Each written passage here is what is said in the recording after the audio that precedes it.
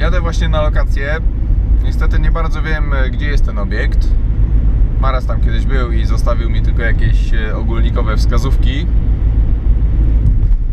E, Ma to być jakiś bardzo fajny, opuszczony pałac.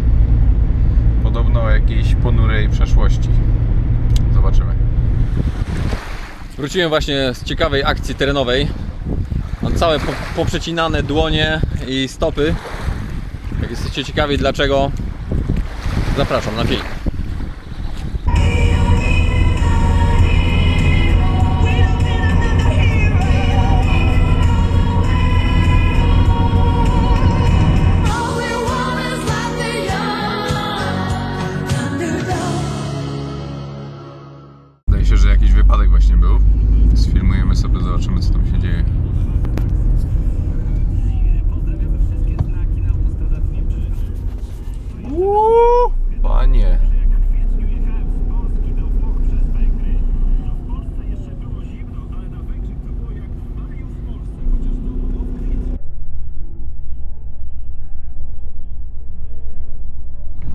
Jestem w starej wiosce rybackiej, nieopodal plaży Had Salat. Właśnie wypożyczyłem sobie od rybaków taką kotwicę. Po co mi będzie ta kotwica, za chwilę się dowiecie. Kilkanaście metrów od tego brzegu woda kryje niezwykle piękne widoki w postaci różnobarwnych raf koralowych. Są one jednak y, dość niedostępne. Ich niedostępność polega na tym, że są po prostu na pewnej głębokości i y, nie każdy ma odwagę i umiejętności, żeby je sięgnąć, zanurkować do nich. Po pierwsze, woda ma strasznie dużą wyporność. Bardzo ciężko jest zanurkować bez sprzętu. No i właśnie dowiadujecie się, po co jest mi kotwica. Mm, To, co mam zamiar zrobić, przybliży Wam nieco te podwodne widoki, niedostępne dla zwykłych śmiertelników. E, Ale nie jest to zbyt mądre. Mm, Bo co mam zamiar zrobić, to za chwilę się dowiecie. Albo powiem Wam teraz. Mam tutaj 8-metrową linę, 8-metrowej długości linę. Mam zamiar na tej linie opuścić kotwicę na 8, 7-8 metrów i po linie opuścić się na samo dno, żeby właśnie pokazać te wspaniałe widoki. Czy to się uda? Nie wiem. Spróbujmy. Dobra, według wskazówek Marasa tutaj trzeba zostawić auto i resztę drogi przebyć pieszo, więc zabieram graty i idę. Skoro mowa o gratach, to staramy się ostatnio kompaktować wyposażenie, bo tego sprzętu przybywa i przybywa. I to jest nasz ostatni patent. Laptop na kolanach pasażera jest bardzo wygodny, ale już yy, biorąc go na lokację staje się to wręcz udręką. Chyba, że mamy dotykową hybrydę z odpinanym ekranem. Za z YouTube'a.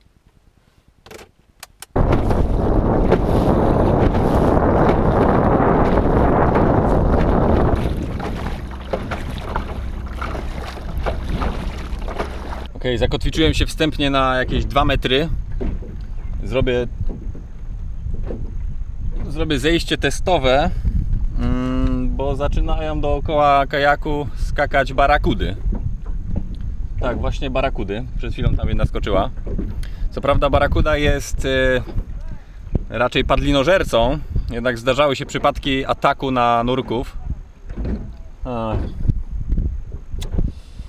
No cóż, jak ktoś ma pecha, mm, to mu w drewnianym kościele cegła na łeb spadnie. Schodzę pod wodę. Zmienię budowę na wodoszczelną, więc będzie mnie teraz trochę gorzej słychać. Do zobaczenia. Miało być przy jeziorze w lewo. Jezioro jest, dworku nie ma. Dobra, jeszcze jakieś 300 metrów. Kierunek dobry. Zwrot chyba też. Jestem na jakichś moczarach. To chyba nie jest droga do dworku. Dobra, jest jakaś ścieżka. Dobry znak.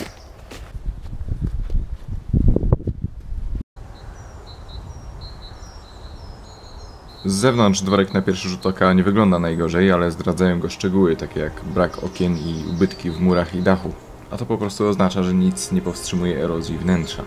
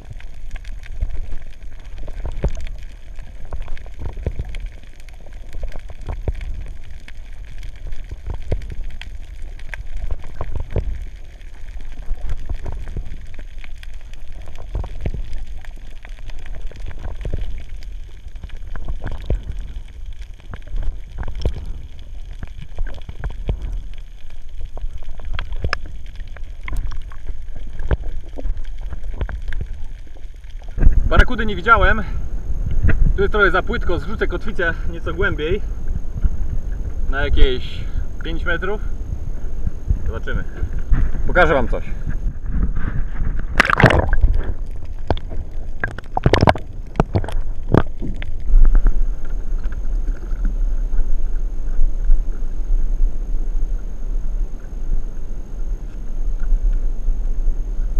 Udało się opuścić kotwicę na 8 metrów.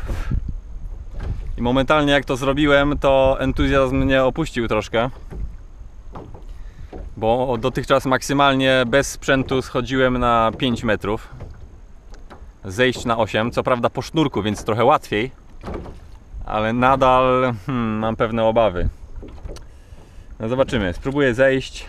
Jak wymięknę, to wymięknę, jak zejdę, to zejdę. 8 metrów to jest naprawdę dużo. Schodzę. Jestem w środku. Pierwsze wrażenie to ogromne pomieszczenia i zdecydowanie zły stan stropów i podłóg. Wchodzę do holu ze spektakularną antresolą, nad którą dodatkowo znajduje się ogromny świetlik w dachu.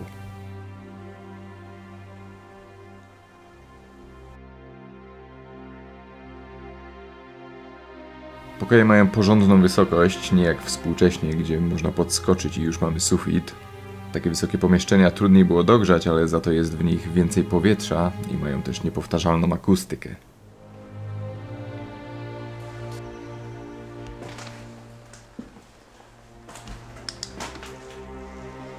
Zajrzyjmy do piwnicy, może znajdziemy tam jakieś przedmioty z epoki.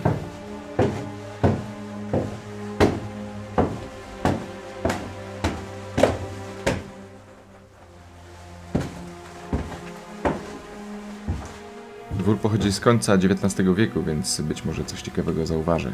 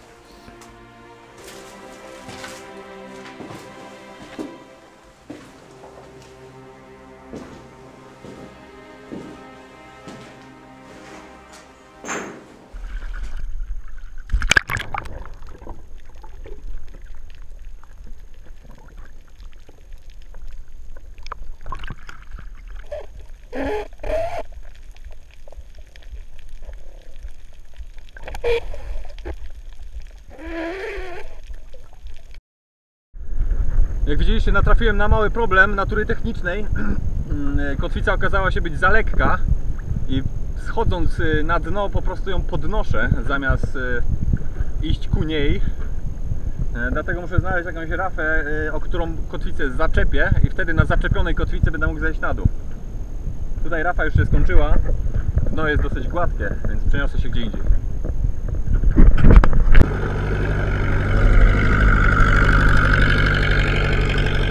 Ok, myślę, że już czas opowiedzieć o małej niespodziance, o której wspominałem na początku. Mam tutaj współrzędne geograficzne, dokładne miejsca, w którym e, znajduje się w tym momencie kajak. A po co są te współrzędne? Być może przydadzą się komuś, kto będzie chciał odnaleźć butelkę z wiadomością, którą umieszczę w rafie koralowej, znajdującej się dokładnie pod kajakiem. Jeszcze raz współrzędne. Jeżeli chcielibyście odnaleźć tą butelkę, to wiadomość zapisana jest w języku polskim i angielskim. Jeżeli ktoś ją znajdzie, to być może będzie miał radość. Wiadomość zapisana jest w dwóch językach na wypadek jakby znalazł ją któryś z nurkujących tutaj turystów. Co nie jest oczywiście niemożliwe. Ale zrobię to tak, żeby to było niemożliwe.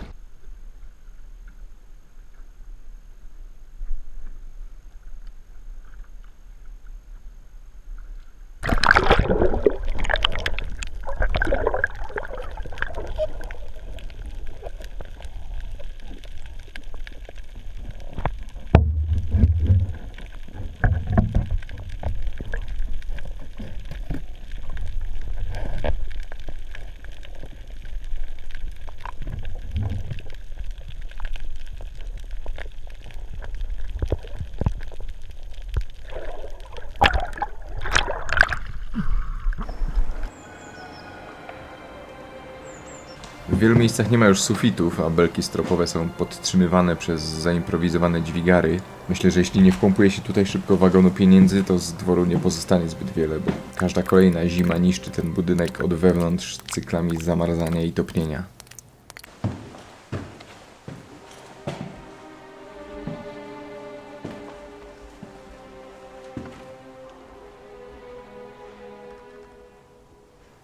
Ten Tesla naprawdę robi wrażenie, ale ten świetlik za parę lat po prostu wpadnie do środka pod naporem śniegu na dachu.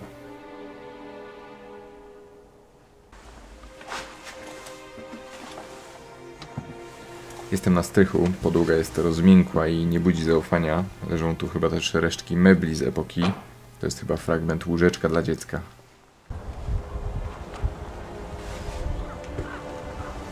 To jest jeden z dwóch tarasów. Był tu widok na parki i jakieś budynki, które leżą teraz w gruzach. Ogromne, prawie 3-metrowe drzwi drewniane wpuszczają teraz tylko wiatr i chłód.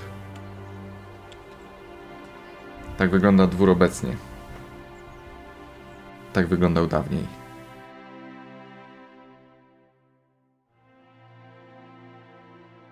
Ciekawe co robi Maras. Różnica temperatur między naszymi lokacjami wynosi pewnie jakieś 50 stopni.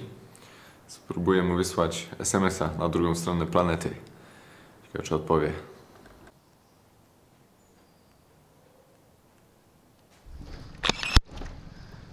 Okej, butelka na miejscu, ale jest jeszcze jeden problem w postaci kotwicy, która wczepiła się w rafę. Nie mogę jej wyciągnąć, muszę po nią zanurkować, odczepić ją.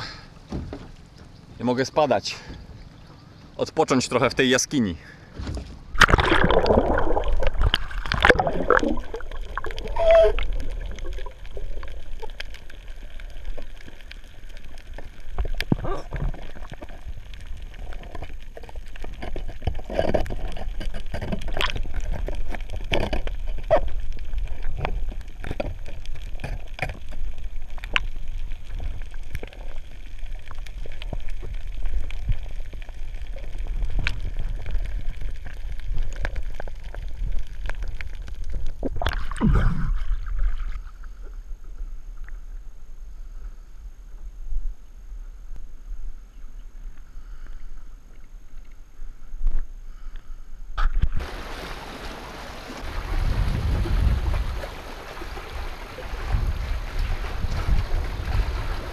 Grota.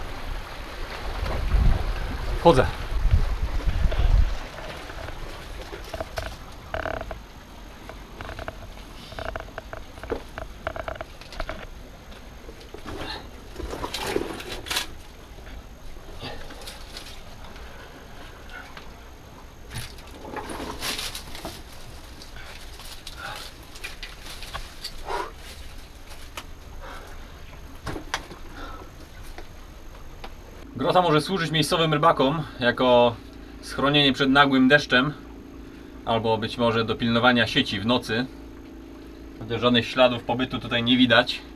Po drodze jak tutaj szedłem, dostałem wiadomość od brata, Saifana, o treści co słychać. Porobię zaraz parę zdjęć. Może nie dowie się co słychać, ale przynajmniej dowie się co widać. Słyszałem, że w Polsce jest zima.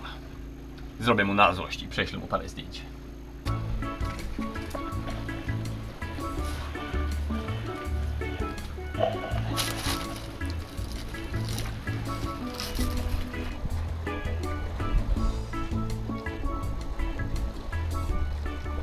Właśnie Maras przesłał fotki na maila. Pewnie siedzi w jakimś tajskim slumsie. Aha. Nie, no jasne. Siedź sobie w ciepełku na bajecznej wyspie. Oby cię barakudy zeżarły.